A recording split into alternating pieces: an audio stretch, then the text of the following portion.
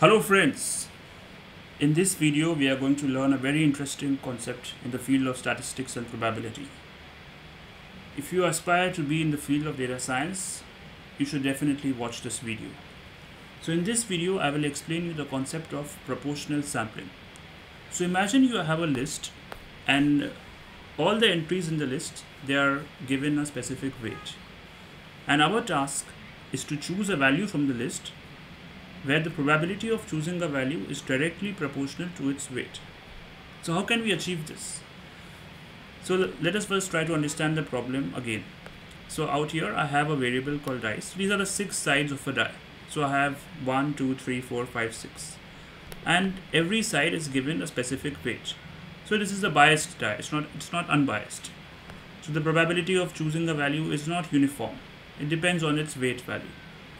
So out here the weight value of the side 1 is 20. The weight value of side 2 is 12. Of side 3 is 60. Of side 4, 58. Of side 5, 33. Of side 6, 10.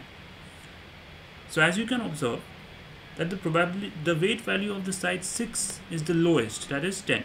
So the probability of choosing side or uh, rolling a die and getting 6 should be the lowest and the probability of rolling the die and getting 3 should be the highest because we have a weight value of 60 assigned to 3.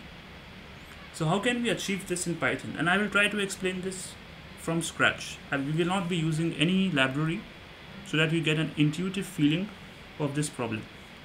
So the very first step that we need to do is we need to calculate or we need to compute the cumulative normalized sum. So how do we compute a cumulative normalized sum? So the very first step is to normalize the weight values. That is, we will convert all these weight values between 0 and 1. First, we will calculate the total sum of the weights. So, and we can achieve this using the inbuilt Python function called sum. We have the weights array here and we just use sum weights and we get the total sum of the weights array. Now in order to compute the normalized weights, what we will do is take each entry in this weight array and divide it by the total sum. So I'm using list comprehension to do this. So I have for weight and weights, I take that weight value and I divide it by total sum and I, I will just print the values out here. Now you, as you see, I, all the values are in the range of 0 and 1 and if we sum up if we sum up all these values we get 1 this is what we, we were expecting now in order to compute the cumulative normalized sum what we will do is for every entry uh, we will be accumulating the values. So for instance, the very first value will remain the same. So the cumulative normalized sum of the zeroth entry will be this, this value. For the first entry, it will be the previous value plus this. For the next entry, it will be the sum of first, second and third values and so on. And the very last entry, it will be the sum of all the values, which should be actually equal to 1. So let us see how we can achieve this. So I'm using a for loop and I will do for i in range 1 to length of normalized weights and I have a list called cum, cum underscore sum and I keep appending the values. So what do I need to append? I need to append the previous cum sum value that is cum underscore sum i minus 1 plus the current normalized weight value which is indicated by the index i. And if we print these values you will see that the last value is 1 and the first value is the, is the same as the first value of normalized weights. Now the next, next task to sample the value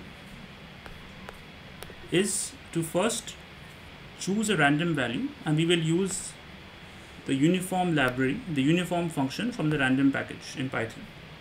And if, if, a, if our random value is less than for instance this value, then we return 1 if it is less than this value then we return 2 if it is less than this value then we return 3 if it is less than this value then we return 4 if it is less than this value then we return 5 and if it is less than 1 then we return 6 so I have, I'm going to wrap all these functionalities in a function called proportional sampling.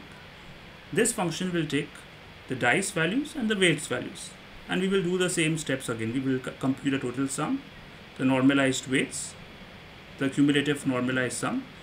Then we choose a random value and based on this random value I will compare the random value with all the values in the cumulative normalized sum array and if that value if the random value is less than any of these values we will be returning the dice value at that specific index so if we are out here we will be returning the index 1 0 1 2 3 third index but which is nothing but the fourth value because in python the array starts at index 0 this is what i have done now let us run this function and see what we get so i'm going to just execute this cell and I will print the value of sample value.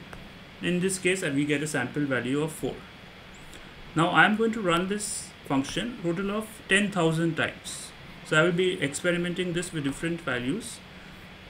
So in this case, I have decided to choose a value of 10,000 and the more number of iterations, the better results you will get. So I, I will call this function proportional sampling every time I execute this loop and I will store the result in a dictionary called dice result. Now I will plot the values. So on the x-axis I have the dice values. So I have all the six sides 1, 2, 3, 4, 5, 6 and on the y-axis I have the number of times this value was chosen. So as you can see since 6 was given the lowest weight the probability of choosing 6 is the lowest amongst all other values. And since the value 3 was given the highest weight the probability of choosing 3 was the is the highest out here. I hope you liked this video and you learned about proportional sampling and appreciate the value of statistics and probability in your career.